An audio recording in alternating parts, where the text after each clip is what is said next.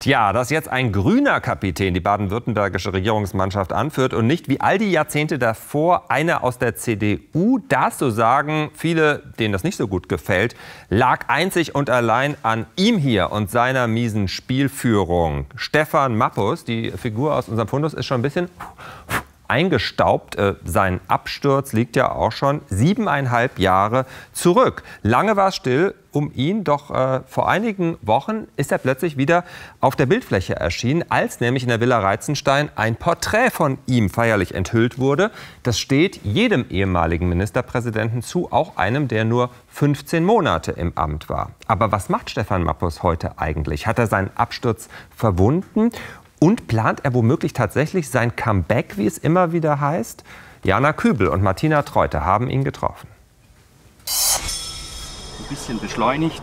Hobbypilot Stefan Mappus hat wieder Zeit zum Fliegen. Der Propeller steht so, wie er am Anfang stehen soll. Man klopft ein bisschen die Teile ab. Letzte Checks an der Baden-Württemberg. So heißt die Maschine.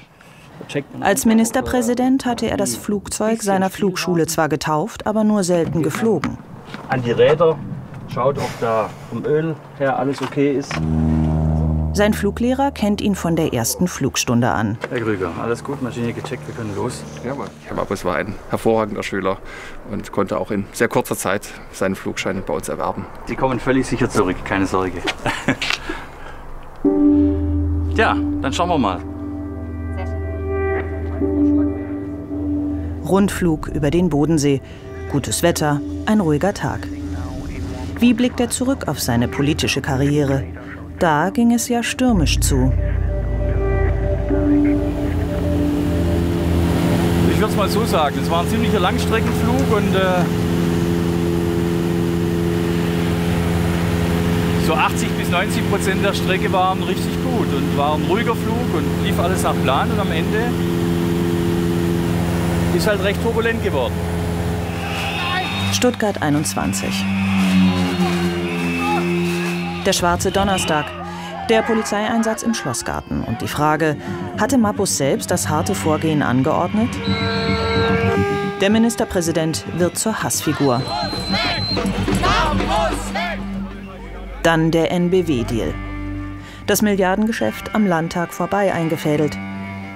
Mappus wird später Untreue vorgeworfen. Es folgen jahrelange Verfahren.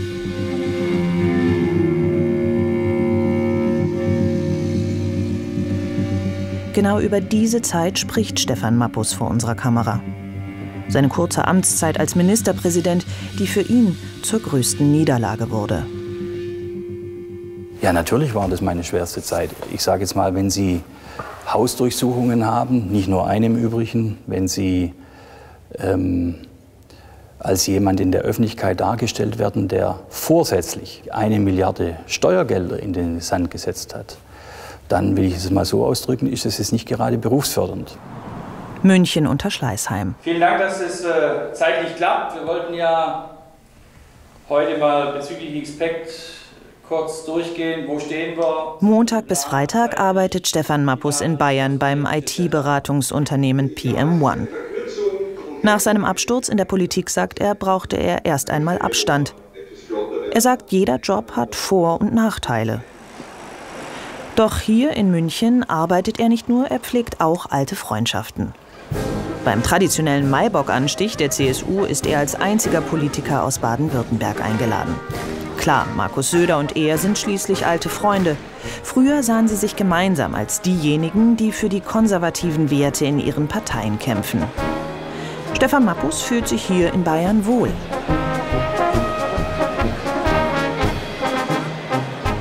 Und macht das dann auch wieder Lust auf Politik?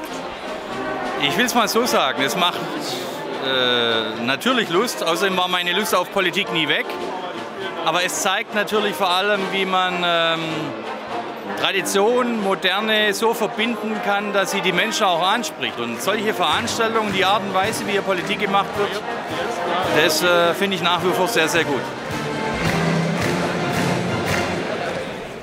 Vor einigen Wochen war Stefan Mappus mit Familie wieder im Staatsministerium in Stuttgart. Zum ersten Mal seit sieben Jahren. Herzlich willkommen. Ja, das gibt Kraft, das gibt Muckis. Grüß Sie. Guten Tag. Hallo. Hallo. Sein Bild für die Ahnengalerie der Ministerpräsidenten wurde enthüllt. Für viele war dieses Gemälde Anlass zur Spekulation. Stefan Mappus greift aus dem Rahmen. Ist das ein Zeichen für ein mögliches Comeback? Ist mit Anfang 50 die politische Karriere von Stefan Mappus vielleicht wirklich noch nicht vorbei? Für mich hat Politik was mit Überzeugung zu tun. Für mich hat Politik was mit Identifikation mit Zielen zu tun. Mit der Politik, die die CDU momentan in Berlin oder in Stuttgart betreibt, könnte ich mich nicht identifizieren und dafür würde ich auch nicht zur Verfügung stehen. Wenn sich das ändert, kann man drüber reden, aber man soll nie, nie sagen. Schauen wir mal, was die Zukunft alles mit sich bringt. Es wirkt zumindest so, als habe Stefan Mappus schon eine Idee. Von der Politik losgelassen hat er aber ganz bestimmt nicht.